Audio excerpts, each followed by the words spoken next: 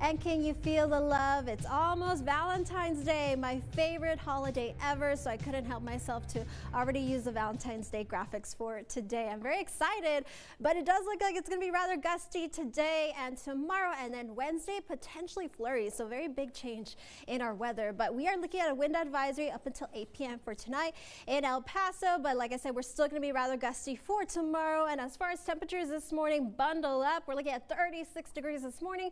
Winds rather calm, but they will pick up in the afternoon.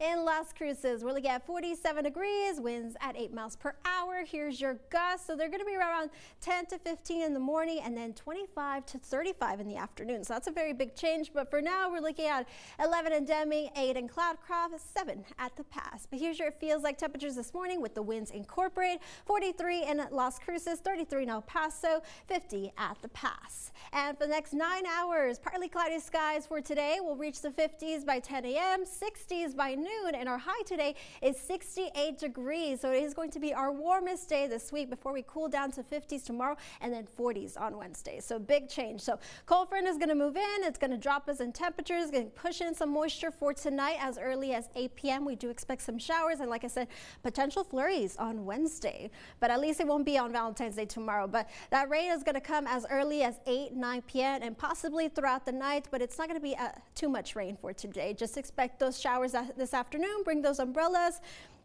And here's your overnight lows for next couple nights. Very comfortable tonight and tomorrow night. And then we're going to drop to 27 degrees on Wednesday. That's going to be a hard freeze. 29 on Thursday. And tomorrow night for all you lovebirds, if you're going to go on a date, 7 p.m. we're looking at 54 degrees. We'll cool down to 52 by 9 p.m. But like I said, it's just going to be rather windy. Tomorrow we are going to be cooling down to the 50s, like I said. And then Wednesday in the 40s. But like uh, just watch out for those winds. So 59 on Tuesday. Tuesday, 43 on Wednesday, 49 on Thursday, back to 60s on Saturday. Guys?